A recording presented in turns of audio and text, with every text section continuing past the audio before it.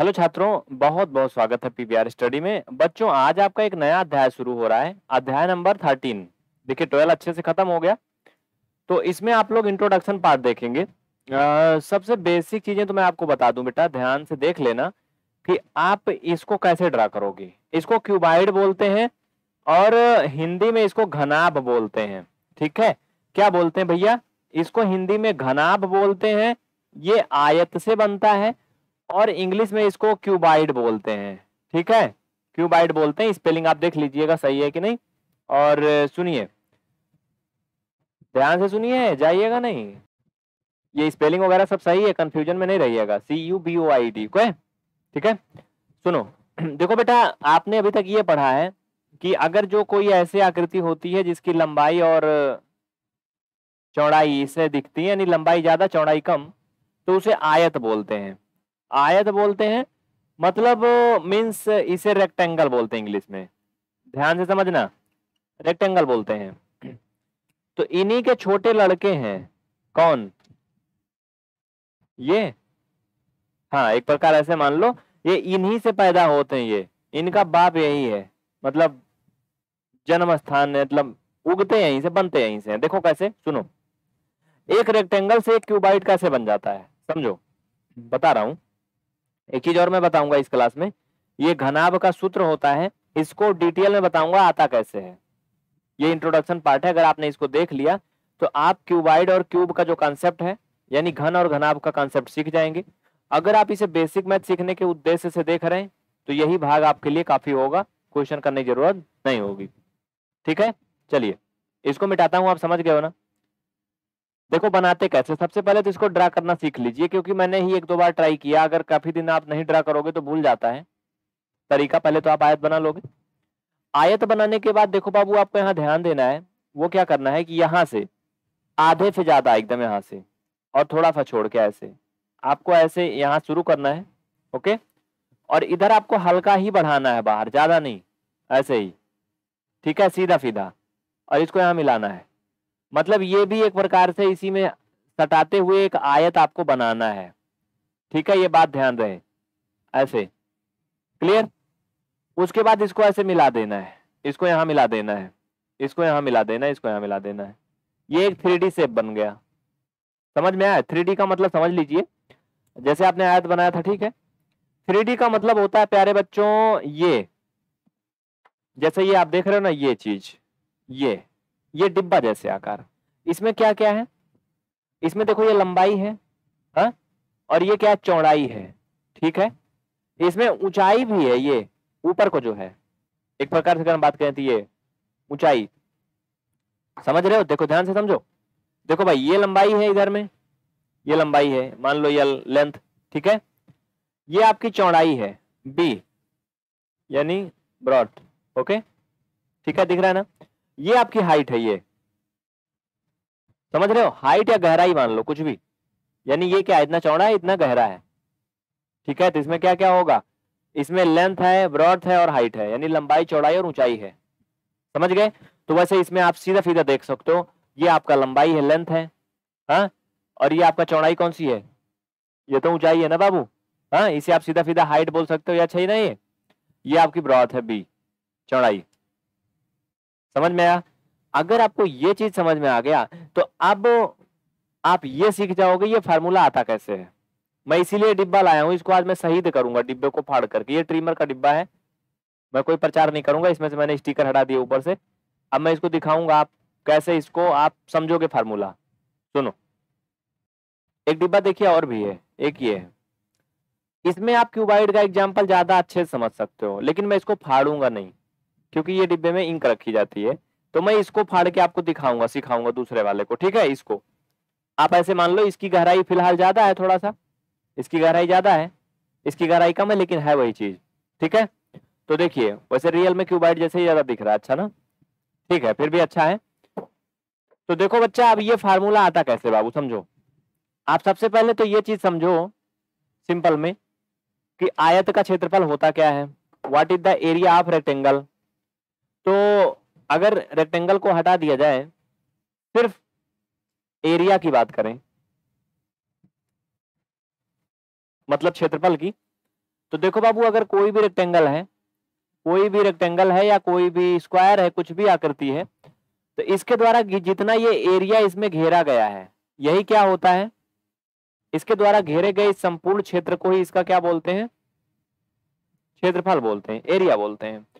तो आयत का जो क्षेत्रफल होता है बाबू, वो क्या होता है? आयत का क्षेत्रफल बराबर होता है लंबाई गुड़े चौड़ाई। लंबाई गुड़ा चौड़ाई होता है। यानी ये लेंथ और ये आपकी जो बुरात होती, चौड़ाई, इसका मल्टीपल करके हम लोग एरिया निकाल लेते हैं, जिसे इंग्लिश में यल इंटू बी बोलते हैं। ठीक है? एल से लेंथ बी से ब्रॉड यानी चौड़ाई। अगर आपको ये चीज़ पता है तो आप इसमें अगर देखो तो इसमें कई आयत आपको मिल रहे हैं। कैसे मिल रहे हैं, वो मैं दिखा रहा हूँ। ध्यान से समझो। सुनो। देखो भाई, इसको मिटाओ। बच्चों, जैसे अभी आपने आयत देखा ना, वैसे ही डिब्बे में छह आयत है। कितने हैं? इसमें छह रेक्टेंगल है बाबू। समझो छह कैसे हैं? देखो, एक तो ये हो गया, ये भी रेक्टेंगल है। अगर आप सिर्फ़ इसका यही एक ही फेस देखो, बाकी सब छोड़ दो। सिर्फ़ सामने से देखो तो क्या, एक आयत है ना ये? है ना? इसके जस्ट पीछे भी एक आयत है। जरा ध्यान से देखो, घुमा रहा हूँ ये। ये भी एक आयत है ना? तो ये दो चेहरा हो गया ना? हा? इसके नीचे भी एक आयत है, ये। अगर सिर्फ़ इतना देखो ऊपर का बस। और इसके भी नीचे एक आयत है ये। चार हो गया ना? एक ये एक ये एक ये एक ये। और इधर भी एक रेक्टेंगल है, अगर आप ध्यान दो। कैसे? ऐसे कर लो। इधर लंबाई देखो, ज़्यादा है, चौड़ाई कम है। कैसे है? मैं भाई आपको डिटेल में दिखाता हूँ इस वाले डिब्बे में। देखो, समझो, दोनों वैसे लगभग बना है। मैं आपको पाँच रेक्टेंगल सॉरी छह दिखाता हूँ और छह आयत का क्षेत्रफल, लेकिन एक चीज़ ध्यान रहे, इसमें सिर्फ़ आयत ही आयत मतलब नहीं आप समझोगे, इसे थोड़ा अलग समझना पड़ेगा, क्योंकि इसमें हर जगह लंबाई चौड़ाई नहीं है। इसमें कहीं कहीं चौड़ाई और ऊंचाई भी दी गई है। तो आप वहाँ पे लेंथ का यूज़ नहीं करोगे, आप चौड़ाई वाला जो बी है और एच का यूज़ करोगे, जिससे ये फार्मूला बना है। देखो, बता देता हूँ, समझ लो। पहले हम इस डिब्बे को खोल लेंगे, ठीक है? पूरा पूरा इसको फाड़ डालेंगे, समझने के लिए आपको ओके इसको खोलेंगे तो आपको समझ में आएगा। देखो, समझो। अब ये डिब्बा मैं खोल रहा हूँ, ध्यान से देखना, जाना नहीं कहीं। बहुत ईमानदारी से देखना। ये डिब्बा मैं खोल रहा हूँ, मान लो, इसको मैं फाड़ रहा हूँ। भाई, अच्छे से निकल जाए यार। फिर से बनाना पड़ेगा, बच्चों को बताना है। एक मिनट, रुके रहो। इसको मैं खोल रहा हूँ, ओके? ये अपने आप खुल गया। ठीक है? ओके। अब समझो, इसमें हमें छह फेस आपको दिखाने थे। कितने भाई? छह दिखाने थे याद रखना। आ, कहीं ऐसा ना हो कि सब गड़बड़ हो जाए गड़बड़ झाला हो जाए। ये फटाफटा हो गया ना लेकिन भी बन जाएगा देखो। भागना नहीं। सबसे पहले तो आप ये देखो आपका ये फेस ये था। बोलो आप सब कुछ छोड़ दो आप। सिर्फ़ इतना देखो। आपका ये आयत है कि नहीं बोलो? है एक आयत ना?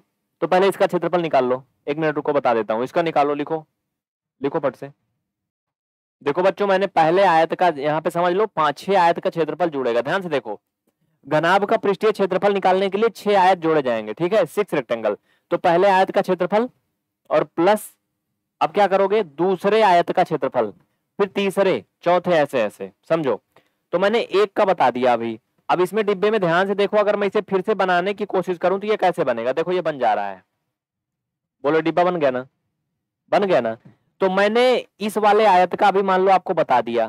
ध्यान से देखो। चलो इस पे मैं क्रॉस कर देता हूँ जिसका मैंने बता दिया, इसको मैंने काट दिया। अब इसका मैंने निकाल दिया। अब देखो इसमें कितने पार्ट हैं। ध्यान से देखना, छह बनेंगे। देखो बाबू, इसको काट दिया ना। इसी के जैसे एक और भाग था इसमें, ये। ये वाला था ना? हम्म? अब इसका भी आप क्षेत्रफल निकालोगे, आयत वाला। इसको भी क्रॉस कर दिया। जितना जितना कर रहा हूँ, क्रॉस कर दे रहा हूँ, ठीक है? प्लस दूसरे या फिर ऐसे लिखोगे, आयत सेकंड का क्षेत्रफल। आयत सेकंड का क्षेत्रफल। यहाँ पे ध्यान देना, ये दोनों आयत में लंबाई है और चौड़ाई है। ठीक है, ऐसे रखोगे, रख के देख लो। इसमें लंबाई और चौड़ाई है, ऊंचाई नहीं है कहीं। ठीक है, समझो। तो इसके लिए क्या हो जाएगा बाबू? यल इंटू बी याद रखना। और प्लस इसके लिए भी यल इंटू बी ये दो हो गया। अभी छ टोटल करना ना? प्लस इसी में और जोड़ो। नीचे, अगर यहाँ जगह नहीं आप प्लस लगा के लिखो, आयत तीन का क्षेत्रफल, ठीक है? फिर आयत चार का क्षेत्रफल, फिर आयत पाँच का क्षेत्रफल। ऐसे सबका करोगे और हमारे में जगह कम है। आप कहो तो मैं इसको मिटा के बता देता हूँ, ठीक है? मिटा देता हूँ। नहीं तो आप कंफ्यूज हो जाओगे, मिटाओ। देखो, मैंने इनको लिख दिया इकट्ठा। अब यहाँ समझ लो फिर से। मैंने दो का कर दिया था ना बाबू? ठीक है? आयत जिसको जिसको मैंने किया क्रॉस कर दिया है। दो का मैंने निकाल दिया, ठीक है? अब चलो एक हिस्सा और लो। ये भी एक भाग था आपका। ये इतना। इतना था ना एक पार्ट अभी मैंने आपको दिखाया था ना।